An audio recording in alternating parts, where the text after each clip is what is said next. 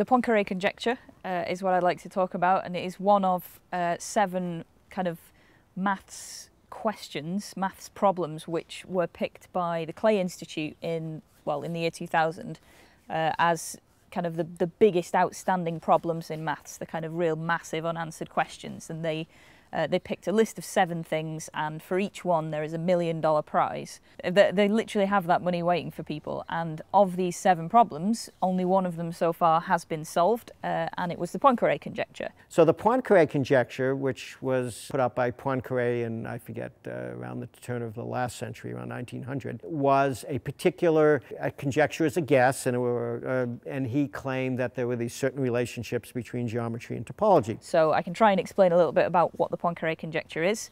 Um, it's from an area of maths called topology, which is to do with kind of shape and how things fit together in space. Um, but it's essentially about spheres. So a, a, common idea in topology is the idea of deforming things. So I've got here a cube, uh, which is made out of dough, uh, and in topology we can sort of kind of move things around a little bit. It's sometimes called rubber sheet geometry. So I could take this cube and I could kind of mess around with it and I could round it off like that using my hands and I can get a sphere uh, pretty much near enough. Um, so that's a, that's a sphere. The, the theory is that you're allowed to, to squash things, stretch things, uh, and all that kind of thing, but you're not allowed to push, punch holes in things. You're not allowed to make a hole uh, and you're not allowed to close up a hole. So because of this, the, the number of holes that something has is very important. So this sphere has zero holes, I guess. Uh, you could also have something like this donut, which has exactly one hole in it, and you can't get from a sphere to a donut uh, by deforming it without kind of closing up this hole or by, by cutting it here and straightening it out and uh, squashing that sausage into a sphere. And you're not allowed to cut and you're not allowed to stick. So the, the kind of things that are different from each other, spheres are different from uh, donuts, which are different again from like a, a pretzel with two holes in it uh, or something with three holes in it or, or any number of holes. This is the kind of maths that I studied at university for, for a very long time and, and did some very difficult uh, maths on. So Poincare was a French mathematician who posed this conjecture. He suggested that if you have an object which doesn't have any holes in it, so first condition, no holes. Uh, second condition is that it is kind of small. It's not, it doesn't go on forever in any direction, so it's it's kind of finite. You could maybe put it in a box and close the lid. Then it's a sphere or at least it can be made into a sphere. Uh, and in two dimension, well, in three dimensions, which is where we live, uh, this seems like a fairly sensible statement. But Poincare suggested that this would hold in any number of dimensions. Uh, so you can take uh, this is a, a three-dimensional sphere, but you could have a two-dimensional sphere would be a circle. You can also go up and have a four-dimensional sphere, which you'd have to pretty much imagine, but it's it's sort of a sphere with an extra dimension. It's it's got a, a fixed radius in this one has a fixed radius in three different directions, but the four-dimensional sphere has another direction in which it's still this size and, and any number of dimensions above that. Um, and uh, you know it's it's counterproductive to try and imagine those things because it really does hurt your brain. Um, but this conjecture exists as a mathematical statement, and he posed this in the 1900s, um, but didn't have a proof for it. And the the actual proof of this took quite a long time. So the 1960s um, and 70s, uh, lots of topology was happening. Lots of people were developing new tools for doing topology, and they managed to prove during that time the case of five dimensions and above. But there was still four-dimensional spheres to think about. Uh, and this was sort of still unsolved, and lots of people had a go at this. And it turns out it took different approaches, I guess, to solve this particular thing. So uh, in the 1980s, there was some work done um, and a, a, a, completely separate conjecture was made by a guy called William Thurston, which was about kind of four-dimensional things and, and shapes. And it, it, turned out that that was quite closely related to it, but that wasn't proved either.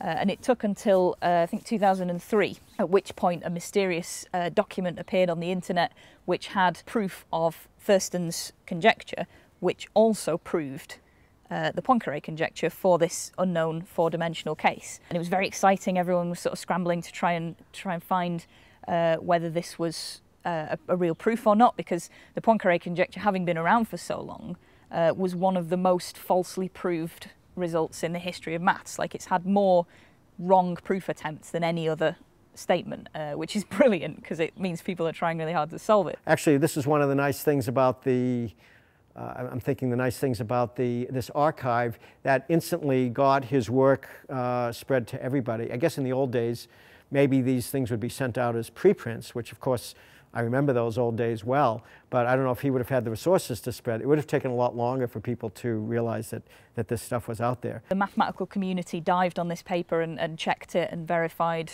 uh, that, that, it was in fact a proof of what it claimed to be, and it was. But I remember when Ben Chow said, this is amazing stuff. We're going to now have a seminar, and we met several hours a week, and we're going to study this.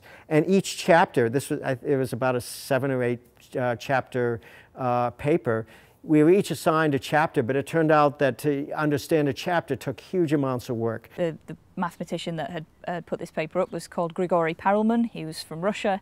Uh, and he was awarded a Fields Medal, uh, which is like maths equivalent of a Nobel Prize. Uh, he was also, of, of, course, awarded the, the Millennium Prize of a, a million dollars, and he, for various reasons, I guess, declined both of those things. He didn't necessarily want them. The fact that he did made an absolutely huge media storm. Everyone was interested suddenly. And he, he could have had any job anywhere in the world after he did this but he didn't want to take it. And he's a bit of a, you know, he his hair is funny and he lives with his mother in St. Petersburg or something. I've actually never met him. Mathematician that solves difficult question uh, wasn't news, but mathematician that solved difficult question and doesn't want a million dollars was suddenly huge news. For about a year after after he put these papers out, I remember it was November of 2002, because I remember I was with a bunch of people who were really into Ricci flow in San Diego, and those papers came out, and we instantly just focused on trying to understand those, those, those uh, papers. And they're very, very difficult. About the, for the year after that, Perelman uh, did sort of a world tour. I know some friends in Berlin, he came to visit them uh, near Berlin. He came to MIT and gave some talks. And he did a bit of a tour. And if I wasn't busy teaching and uh, didn't, just didn't have the time to really, uh, well, maybe I should have done it. But anyway, I didn't go to see him at any of these talks. Uh, who knew that he was going to just immediately, uh, or let's say after a year, go back, uh, go back into uh, staying away from, from publicity? It would be fun to meet him. I guess I've, I've simplified it here, and it is a little bit more complicated uh, to define specifically what I mean by each of these things. Um, but hopefully that gives you a rough idea of, of the kind of maths that it's talking about. There are a lot more kind of difficult blackboards full of squiggly numbers. You know, there are different ways of doing math. One way you can take some big problem like that and say, I'm going to do, just focus on that. The danger of that is you don't, you don't solve it and then, uh, you know, that's not so good. Or you can look at many, many different problems. I like to look at many different problems, uh, not focusing on one particular one. But he, he would take that problem. In fact, from what I understand from friends who knew him, he announced at some point, I forget exactly when, many years before he actually came out with these papers, I'm going to use Ricci flow to try to um, uh, solve to try to solve the Poincare conjecture. And he just, without, I don't know if he was doing any teaching at the time, but living in St. Petersburg, and then he, he did it. If you haven't seen it already, we've got a video about Ricci flow and Ricci flow surgery, which is kind of like the golden bullet that helped them solve the Poincare conjecture. If you haven't seen them yet, maybe go and have a look. I'll have links everywhere in all the usual places. We've also got a video about another one of the Millennium Problems, the Riemann hypothesis, so maybe you could go and watch that video. That one hasn't been solved yet, so there's a million dollars there for you if you can crack it.